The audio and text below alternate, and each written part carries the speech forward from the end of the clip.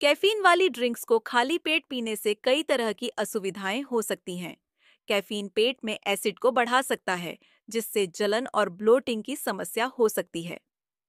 सुबह अगर आप खाली पेट चाय पीते हैं तो बॉडी में कोर्टिसोल का प्रोडक्शन होने लगता है। आइए जानते हैं, हेल्थ एक्सपर्ट खाली पेट चाय पीने से मना क्यों करते हैं? अधिक चाय या देर रात चाय पीने वालों को नींद की कमी होती है। साथ ही आपको चिड़चिड़ापन और थकान भी महसूस होगी। यदि लंबे समय तक ऐसा किया तो स्लीपिंग डिसऑर्डर हो सकता है। चाय से शरीर में पानी की कमी होने लगती है। डिहाइड्रेशन की वजह बन सकता है।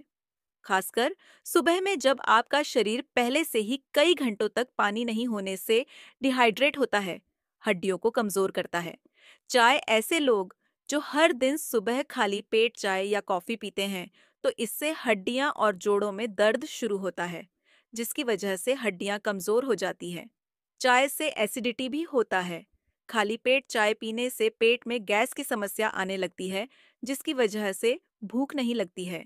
इसलिए सुबह खाली पेट चाय बिल्कुल भी नहीं पीनी चाहिए। चाय से पोषण की कमी। यदि आप हर दिन खाली पेट चाय पीते हैं तो इससे आपकी बॉडी में पोषक तत्व की कमी भी हो सकती है, जिससे आपको भूख कम लग सकती है चाय दांत के लिए भी नुकसानदायक है।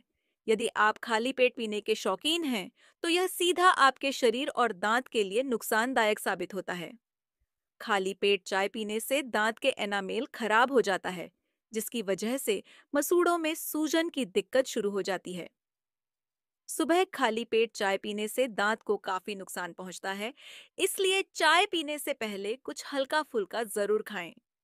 बिस्किट नमकीन या फिर पानी पीकर भी चाय पीना स्वास्थ्य के लिए अच्छा रहता है।